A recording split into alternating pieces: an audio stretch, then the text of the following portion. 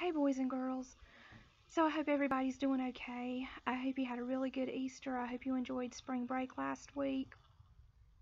And I hope you're all excited about getting on back getting back on track with school. So, here's what I wanted to do. I came outside on my front porch today. That's why I've got my sunglasses on. It's bright out here. And I wanted to start a brand new Junie B. Jones book. You know, we finished the Junie B. Easter book right before spring break, and I thought it would be good for us to get back on track with a new Junie B. Jones book. And the one that we're going to start today is called Junie B. Jones Has a Peep in Her Pocket. And here's what I want you guys to do. Now, I know that we're not at school right now, and I know that unfortunately we're not going to be able we're not going to be able to go on our field trip this spring like we had planned on. We were going to go to Strawberry Hill next month, and we're not going to be able to do that. But the good news is we're going to use Junie B. Jones to kind of help us go on a pretend field trip. We're going to use our imaginations while we read this Junie B. book. This book is about her about Junie B. going on a field trip to a farm with her kindergarten class. So while I'm reading, as we go through each chapter, I want you to use your imagination and I want you to pretend like that you're with Junie B. So, like I said, even though it's not a real field trip, we're still going to be using our imaginations to pretend like we're going on a, on a field trip with Junie B and her class. So we're going to go ahead and get started. This book has eight chapters. It's not very long. We're going to go ahead and read chapter one today. The name of chapter one is Confusing Stuff. My name is Junie B. Jones. The B stands for Beatrice, except I don't like Beatrice. I just like B, and that's all. I am almost six years old. Almost six is when you get to go to school. And so last summer, Mother took me to the school office and she rolled me in afternoon kindergarten. Rolled is the grown up word for signed me up and made me go. Only guess what? So here's Junie B when her mother's taking her to kindergarten for the first time. I don't even mind going there hardly, 'cause I made two bestest friends at that place. That's why. Their names are Lucille and that Grace. We are like three peas in a row. My teacher's name is Mrs. She has another name too, but I just like Mrs., and that's all. Only here is the trouble. Just when I was getting good at kindergarten, Mrs. made announcement to our class, and she said that pretty soon school is going to end. I did a gasp at that terrible news. no, Mrs. No, no. How can school end? 'Cause mother said I have to go to school till I am an old teenager, and I am not even six years old yet. Mrs. Quick shaked her head. Oh dear, I'm sorry, Junie B, she said. I'm afraid that you've misunderstood me. School isn't going to end forever. School will just be taking a summer vacation. She smiled at me. You and everyone else in this class will come back to school in September.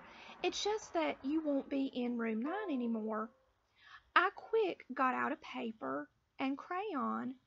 Okey doke, then tell me the name of our new room, I said, 'cause I will need to tell Mother where to bring me. Mrs. did a little frown. I'm sorry, she said again, but right now I have no idea what room you'll be in next year. Now I did a frown too. So what am I supposed to do then? Just wander around the school until I find you people? Mrs. looked funny at me.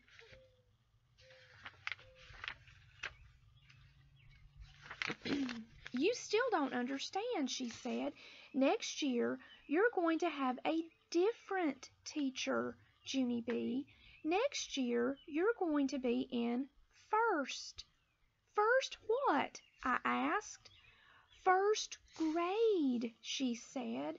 Just then my stomach felt sickish inside, 'cause I don't even like first graders. That's why. First graders are bullies to me at recess, and I don't want to be in the same room as those guys. Pretty soon, a boy named William started to sniffle very much. Because William hates first graders even more than me.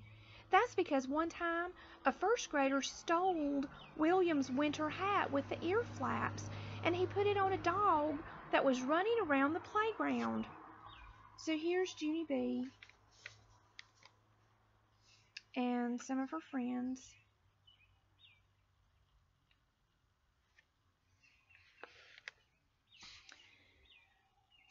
And the dog runned away with William's ear flap hat forever.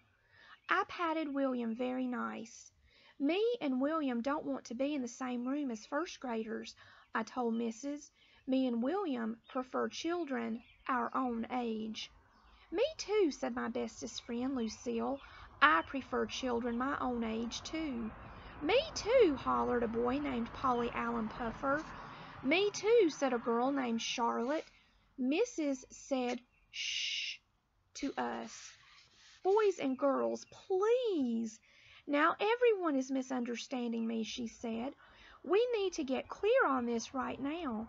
Next year, when you come back to school, you will not be in class with the children who are first graders this year. Next year, those children will move up to second grade, and you people will move up to first. Understand? I thought and thought about that. Then, all of a sudden, a light bulb came on in my head.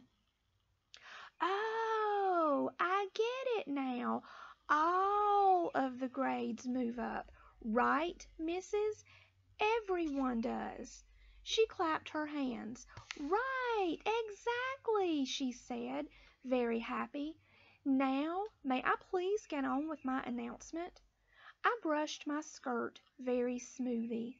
Yes, you may, I said, real polite. Okay, said Mrs.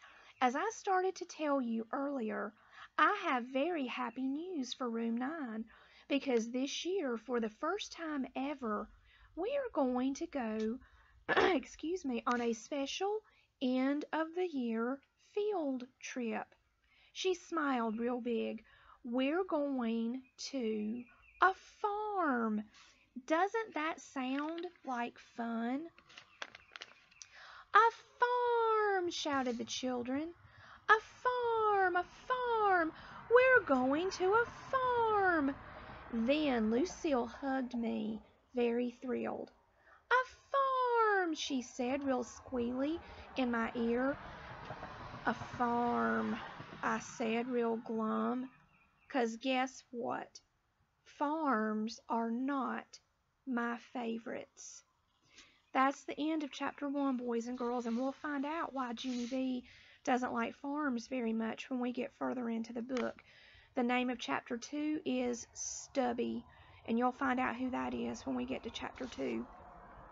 So I hope everybody enjoyed that, and I hope you're looking forward to chapter two, and I'll see you guys very soon.